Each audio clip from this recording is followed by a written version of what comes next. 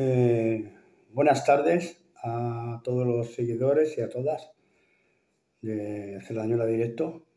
Estamos muy contentos eh, porque nos veis, porque opináis, cada uno con vuestra opinión, y bien aceptadas son.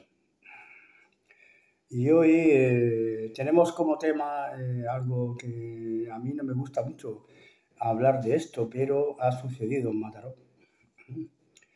Y ha sucedido otra vez la prepotencia de algunos agentes de la policía local. Perdón. De algunos agentes de la policía local. Porque desde Cerdañola Directo nuestro apoyo, como siempre, al colectivo de la policía local de Mataró porque hay grandes profesionales y la mayoría intenta hacer su trabajo lo mejor que puede.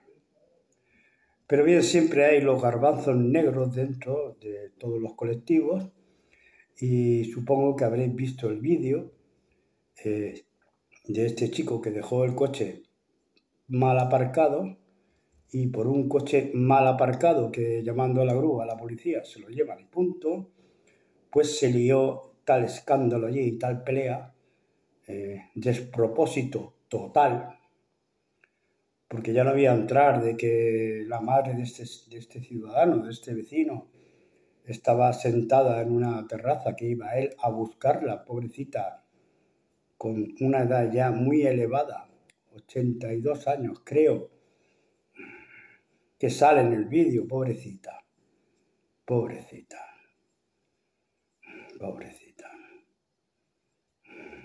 ¿Cómo se puede desbocar una situación tan simple que es llegar, oiga, mira, que el coche, yo es que voy a buscar a mi madre, cinco minutos. No. Primero, le vamos a hacer la prueba del alcohol cuando este vecino, ciudadano, conductor, está fuera del coche. Bueno, pues que se pongan también a hacer la prueba del alcohol a todas las personas que van andando por la acera.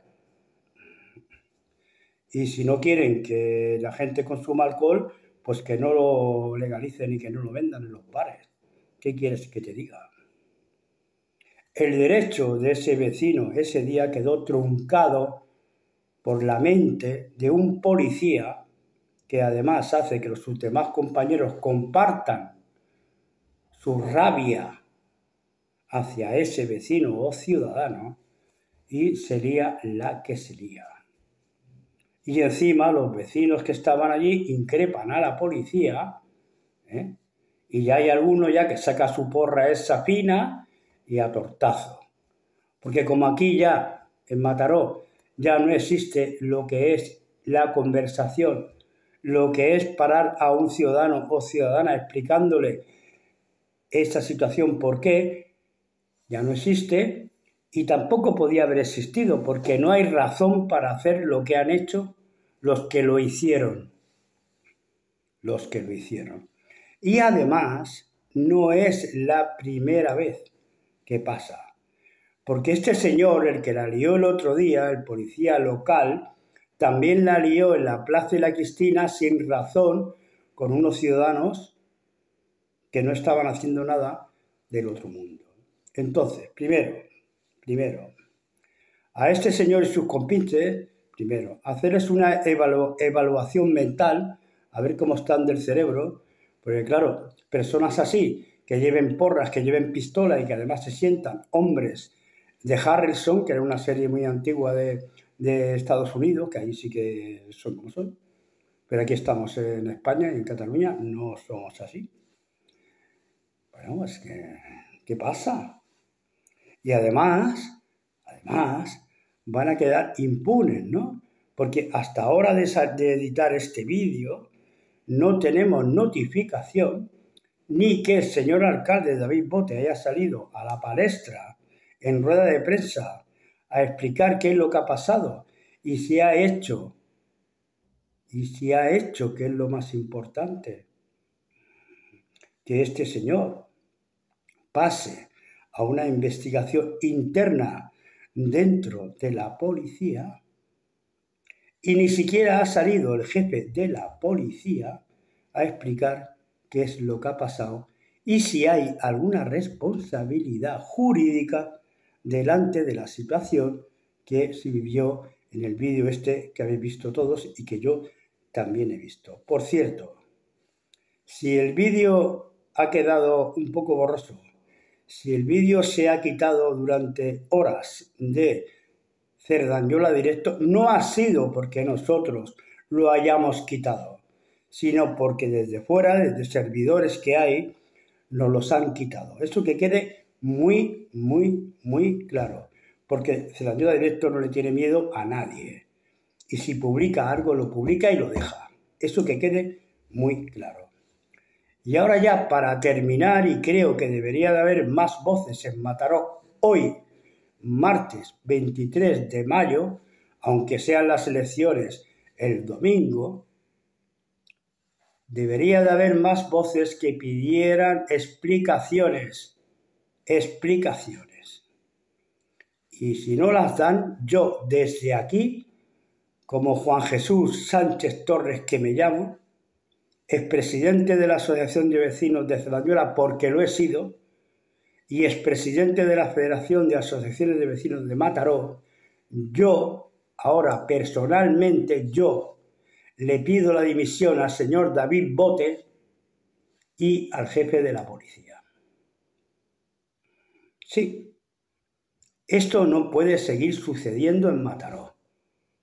No puede seguir sucediendo en Mataró. Ahora cogéis todos y todas, ¿eh? lo digo así, y el domingo salís a correr todos, ¿eh? ya sabéis lo que quiero decir, ¿no? Pues un poco de conciencia, un poco de conciencia, un poco de pensamiento, y que sepáis una cosa, que el que elijáis el domingo es para cuatro años. Cuatro años. Ese es el factor más que tiene la democracia, ¿no? Que le das un cheque en blanco para cuatro años. ¿Sí? ¿Sí? Y después, en esos cuatro años, no te preguntan absolutamente nada. Porque no están al servicio del pueblo. Están al servicio de sus partidos. De sus partidos.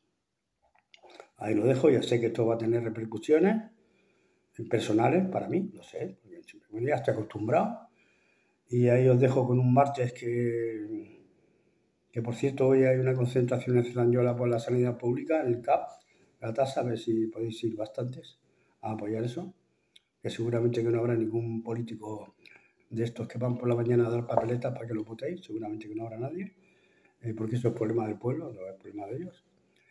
Y ya sé que me estoy mojando mucho hoy, pero mm, me seguiré mojando inadmisible ese vídeo, inadmisible esa situación, porque además ha sido verdad, no es un vídeo ficticio que nadie se haya inventado. Y a mí lo que más me ha dolido del, vídeo, aparte de la paliza que le han pegado a este ciudadano vecino, es la cara de la madre allí que no sabía ni dónde estaba, pobrecita, con los vecinos allí, que no sé al final quién se hizo cargo de la abuela, la policía no, por supuesto la policía no. Gracias, salud, cuidaros mucho y nos vamos viendo. Aunque esta semana ya creo que no vamos a hacer nada más, porque después nos llamarán oportunistas, como siempre.